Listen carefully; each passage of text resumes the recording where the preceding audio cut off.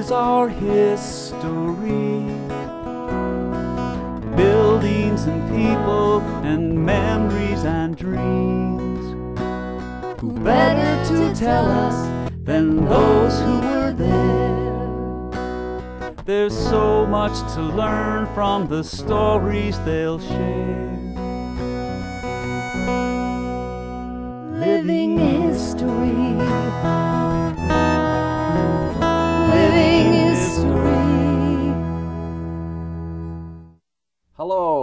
Welcome to another Living History program with Ted Goldsboro.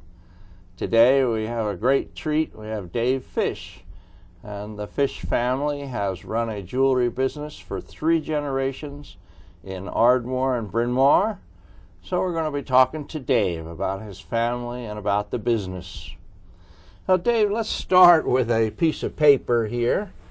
Could you tell me what that is? This was the apprenticeship papers that my grandfather had to use uh, with the signature of my great grandparents, sealed by the Queen of England uh, for his time that he was going to be working uh, in his apprenticeship since from ni- 1880 to 1887.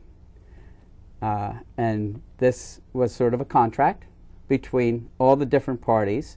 He was raised in Berwyn, I believe is the pronunciation, in England, but he did his apprenticeship in Falmouth. So he was in, living in Falmouth for seven years while he was doing his apprenticeship.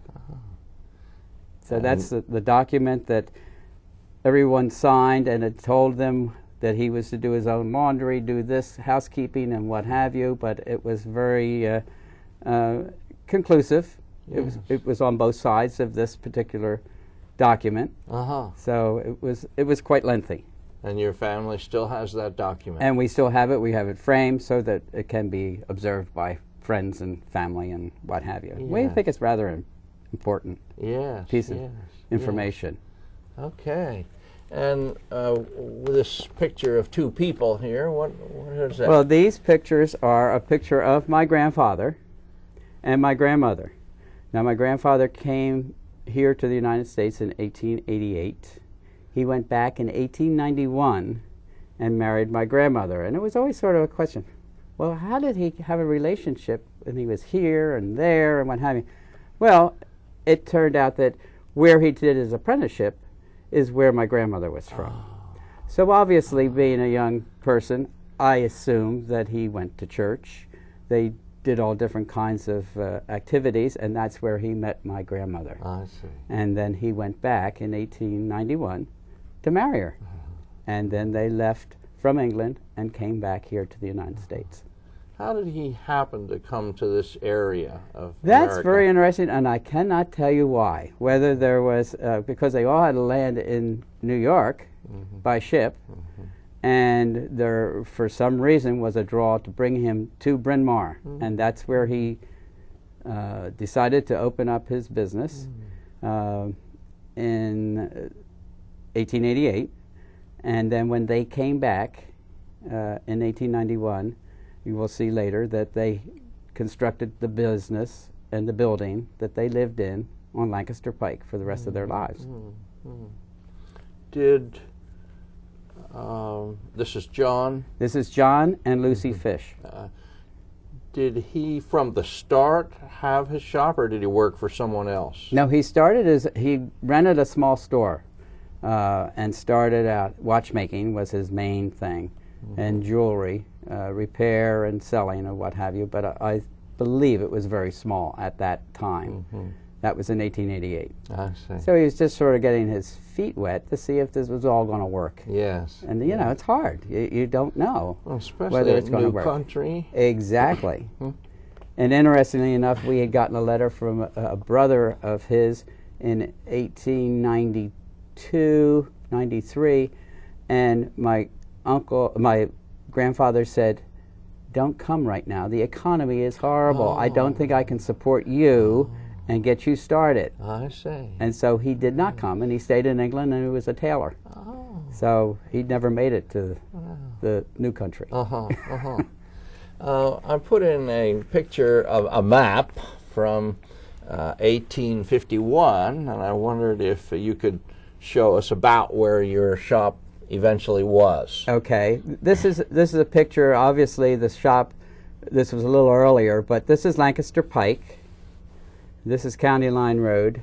This is Roberts Road, and the next little street at the intersection of County Line, Glenbrook Avenue, Conestoga Road, but coming down to the corner of Lancaster and Thomas Avenue is where my grandfather built the building with the help of my grandmother, and they bought uh, built a four bedroom uh, on the second floor with two large rooms on the third floor, a storefront, living room, dining room, and then added on a larger kitchen as the family grew. They needed more space.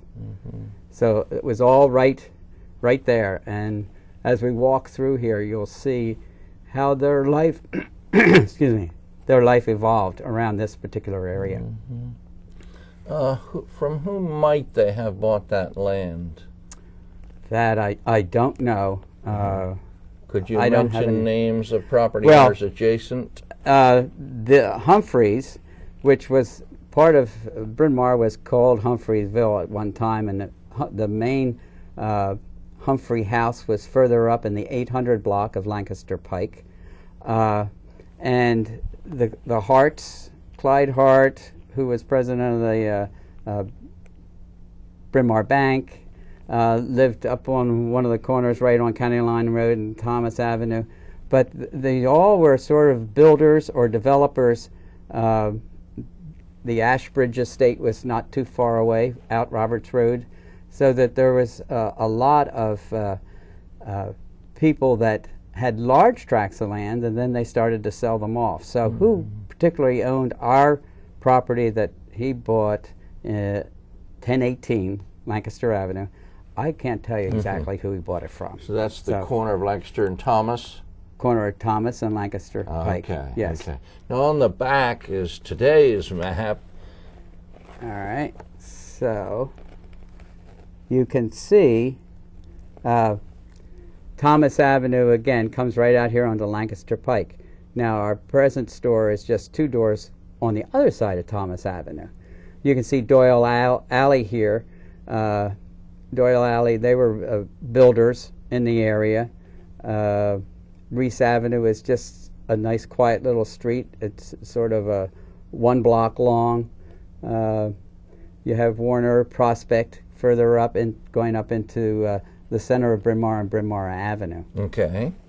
Now here was I think from let me see what the back says 1896. So by then your store's there, your house and store's there. Yes, and there you can see uh, that particular one. Remember, I mentioned the Harts. Yes. Well, the Harts had a property there, but then they uh, sold that property, storefronts and what have you, and they moved up onto Thomas Avenue. John Fish was right here, and this whole block was the Doyle. Sarah Doyle owned it, and I remember I mentioned Doyle Alley. So uh, the names, fortunately, came to be remembered by the the street names. Yes. And so it really makes a little bit of history. You wonder where did they come up with that name? well, Yes, yes. they were usually family names. Yes. Uh, uh, so I guess the the- point is that some of our streets have the names of the residents, exactly, like Levering exactly. Mill Road and McClenaghan Mill. And, Exactly. Okay. And it all ties in, and it makes so much sense. yes. Here's a here's a picture of John Christie, uh, oh, Christie, Ryan Ryan and Christie. So Oh. that, of course they were way further on up. They were in about the 700 block. and they had a Uh, moving and, and moving storage. and a large storage area where the, they later had a big fire. big fire. yes, that was pretty. Uh, I pretty think I'll, uh, we'll move on here. And what is this picture of? This picture is of, uh, as I said, they came here in 1891. My grandmother and my grandfather, and they proceeded to have eight children. One is my father right here. He was the second to the youngest. Uh, this is Uncle William, and we'll see about him a little bit later on, uh, being located down in Ardmore in an Ardmore jewelry store. This is my Aunt Amy, interesting enough, and my Uncle Charles. they both worked for the Autocar. She was their nurse in residence at the Autocar. Charles worked on the line. I'm not sure just exactly what he did, but uh, he was part of the Autocar Could family. You, could you tell us um, about a house or a store later about Autocar in 1899, 1900? Right. Well, at one point, my grandfather bought a business, uh, a jewelry store down in Ardmore, and it was located where the Autocar was going to be. And that business uh, was sold, and my grandfather bought the business name, Francis, Harry Francis, and uh, it was that property was torn down, and so the store was moved down onto Cricket Avenue. Okay. And so So we'll have some pictures we have some that. pictures of that. Okay. But that Uncle William and Uncle Frederick ran that store for my grandfather. So there was a chain of John Fish and Son jewelers of two stores, Okay, Bryn Mawr and Ardmore. Bryn Mawr and Ardmore. Okay, good. Uh, we have a picture here of, and there is a there is a fish in here, a William, and then there's Mary Craig. Correct. they were in the same class. Uh, What school from is Law this? They all every all the Fish family went to Lower Merion high schools. Uh, some did not graduate from the high school because a lot of the programs were only up to the eighth grade. So depending on what the child was going to do, they might start working for parents or what have you, or they might go on. But Uncle William married Mary and Craig, and So they had known each other since elementary school. th- yes, this picture is of the seventh grade Wow. and they had no children. Unfortunately, they had no children, but they did have. She had uh, family members, uh, uh, nephews, and what have you. So they they were very fond. Well. Dave, we have to take a little break here. We're coming up on a time, All right. so, so we'll be right back after we take our break. We're talking to John, uh, Dave Fish. We'll be right back.